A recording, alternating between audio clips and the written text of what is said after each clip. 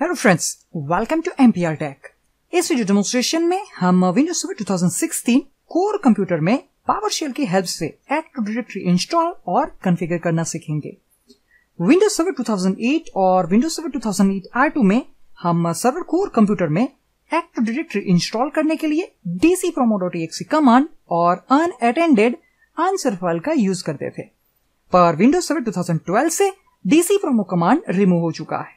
इसीलिए अब Windows server core computer पे एक्टिव डायरेक्टरी इंस्टॉल करने के लिए जो प्रिफर्ड मेथड है, वो है विंडोज़ पावरशेल विंडोज़ पावरशेल की हेल्प से आप दो स्टेप्स में active directory domain service install और कॉन्फ़िगर कर पाएँगे।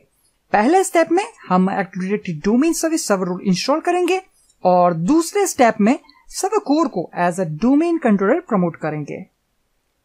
सबसे पहले हम इस कंप्यूटर का होस्ट नेम चेक कर लेते हैं। उसके लिए मैं कमांड रन करता हूँ होस्ट नेम और जैसे आप यहाँ पर देख रहे हैं कि जो कंप्यूटर का होस्ट नेम हमने सेट किया है, वो है server zero three hyphen core और अब हम चेक करने के लिए जो आ रहे हैं आईपी कॉन्फ़िगरेशन उसके लिए मैं कमांड रन कर रहा हूँ get hyphen net IP configuration और जैसे आप यहाँ पर देख रहे हैं कि हमने इथरनेट एडेप्टर के ऊपर स्टेटिक आईपी एड्रेस असाइन किया है 192.168.1.6 और जो डीएनएस सर्वर हमने स्पेसिफाई किया हुआ है, वो है 192.168.1.1 अब हम ये चेक करना चाहते हैं कि क्या इस कंप्यूटर के ऊपर active directory domain service server install है या नहीं। उसके लिए मैं कमांड रन करने के लिए जा रहा हूँ। Get hyphen Windows feature hyphen name star AD hyphen domain press करता हूँ एंटर की। और जैसे आप यहाँ पर देख रहे हैं कि करंटली इस सर्वर कोर कंप्यूटर के ऊपर active directory domain service server role install नहीं है। तो हम जा रहे हैं active directory domain service server role install करने के लिए। उसके लिए मैं सिम डिलीट रन कर रहा हूँ। Install hyphen Windows feature hyphen name जैसे आप यहाँ पर नेम देख पा रहे हैं, वो है AD hyphen domain hyphen services hyphen में यूज़ कर रहा हूँ इंक्लूड मैनेजमेंट टूल्स जो हमें चाहिए एक्टिव डायरेक्टरी डोमेन सर्विस को मैनेज करने के लिए।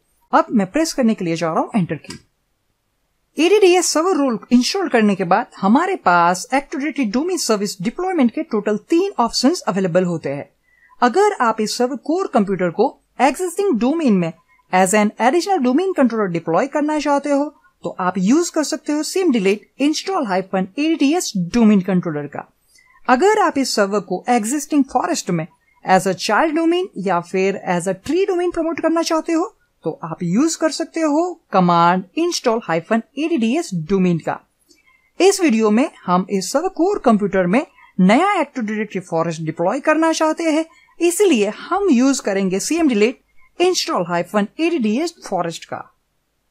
जैसे आप यहाँ पर देख पा रहे हैं कि active directory domain service server role इस कंप्यूटर के ऊपर सक्सेसफुल इंस्टॉल हो चुका है। वापस हम कंफर्म कर लेते हैं। Get hyphen Windows feature cmdlet की हेल्प से। यहाँ पर आपको डिस्प्ले के अंदर में चेकबॉक्स मिल रहा है, जो बता रहा है कि एक्टिव डायरेक्टरी सर्विसेज़ इस कंप्यूटर के ऊपर इंस्टॉल हो चुकी है। अब हम ये इस कंप्यूटर के ऊपर नया एक्टिव डायरेक्टरी फॉरेस्ट डिप्लॉय करना चाहते हैं बट फॉरेस्ट डिप्लॉयमेंट से पहले हम प्री रिक्वेस्ट चेक करना चाहते हैं। उसके लिए हमें यूज़ करने के लिए जा रहा हूँ cmdlet test hyphen ADDS forest और हाइफन डोमेन नेम स्विच के साथ मैं स्पेसिफाई कर देता हूँ हमारे डोमेन का नाम, जो हम क्रिएट करना चाहते हैं। अब मैं प्रेस करने के लिए जा रहा हूँ एंटर की हमें पूछा जा रहा है कि directory service restore mode administrator account का पासवर्ड सेट कर दीजिए। अब जो प्री चेक है, वो रन हो रहे हैं। जैसे आप यहाँ पर देख रहे हैं कि हमें मैसेज मिल रहा है ऑपरेशन कंप्लीटेड सक्सेसफुली यहाँ पर कोई एरर नहीं है मतलब हम इस सर्वर को as a domain controller promote कर सकते हैं। हम इस सर्वर कोर कंप्यूटर में नया एक्टिव डायरेक्टरी फॉरेस्ट डिप्लॉय कर रहे हैं और साथ में हम डीएनएस सर्वर रोल भी इंस्टॉल करना चाहते हैं। उसके लिए हमें यूज़ करना होगा cmdlet install hyphen ADDS forest का। पर सबसे पहले हम हेल्प ले लेते हैं install hyphen ADDS forest command की। जैसे आप यहाँ पर देख रहे हैं कि सिंटेक्स के अंदर जो एडिशनल पैरामीटर्स है, जो स्विचेस है, वो हमें यहाँ पर देखने मिल रही है। जैसे आप यहाँ पर देख सकते हैं कि इंस्टॉल हाइफन एडीडीएस फॉरेस्ट के बाद यहाँ पर पहला जो पैरामीटर है, वो है हाइफन डोमेन नेम जो आपको डोमेन नेम स्पेसिफाई करना होगा। उसके बाद वहाँ पर ऑप्शन से हाइफन स्किप प्री चेक्स अगर आपने पहले से ही प्री चेक कर ली है तो आप उस स्टेप को स्किप कर सकते हो। उसके बाद है hyphen safe mode administrator password database path domain functional level forest functional level और है लॉग पाथ वहाँ पर है सिसवॉल पाथ सो so, ये जो सारा पैरामीटर्स है उसको आप यूज़ कर सकते हो।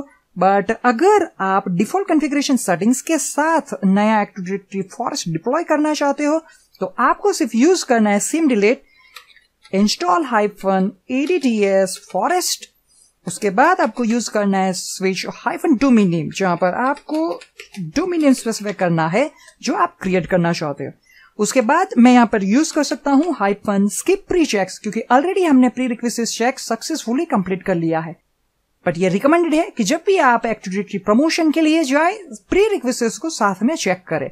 अगर आप फॉरेस्ट और डोमेन फंक्शनल लेवल देना चाहते हैं तो वो आप यहाँ से डोमेन मोड या फिर फॉरेस्ट मोड स्विच का यूज़ करके स्पेसिफाई कर सकते हैं।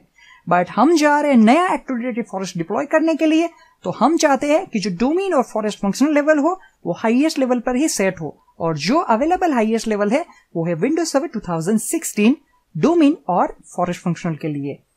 अब मैं यहाँ पर प्रेस करने के लिए चाह रहा हूँ। एंटर की। हमें पूछा जा रहा है कि आप सेफ़ मोड एडमिनिस्ट्रेटर का पासवर्ड स्पेसिफाई कर दीजिए, जिसे हम directory service restore mode password भी कहते हैं। अब हमें यहाँ पर पूछा जा रहा है कि जैसे ही domain controller promotion process complete होगी, उसके बाद ये सर्वर ऑटोमेटिकली रिबूट होगा। क्या आप रिबूट करना चाहते हैं? इस सर्वर को ऑटोमेटिक मैं यहाँ पर प्रेस करता हूँ वाई जो डिफ़ॉल्ट सिलेक्शन ही होता है। अब जो नया एक्टिव डायरेक्टरी फॉरेस्ट डिप्लॉयमेंट की प्रोसेस है, वो स्टार्ट हो चुकी है और जैसे ही ये प्रोसेस कंप्लीट होगी, उसके बाद हमारा ये विंडोज़ सर्वर 2016 कोर कंप्यूटर एक बार रिस्टार्ट होगा। जब नेक्स्ट टाइम आप इस सर्वर के ऊपर लॉग इन करेंगे, तब ये server core computer as a domain controller promote हो चुका होगा।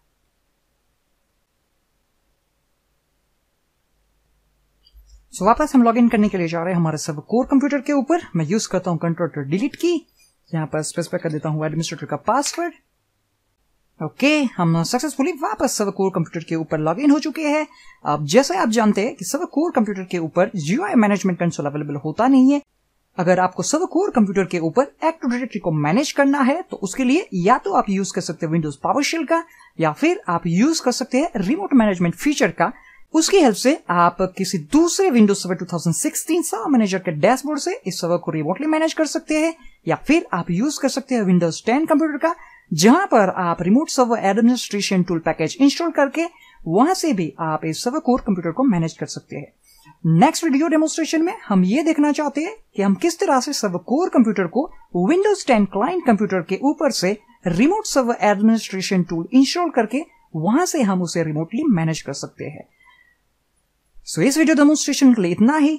Thank you for watching this video अगर आपको मेरे वीडियोस पसंद आते हैं तो इसे लाइक करना ना भूले और मेरे लेटेस्ट यूट्यूब वीडियोस की इन्फॉर्मेशन के लिए एमपीआर टेक चैनल को सब्सक्राइब करना ना भूले। Thank you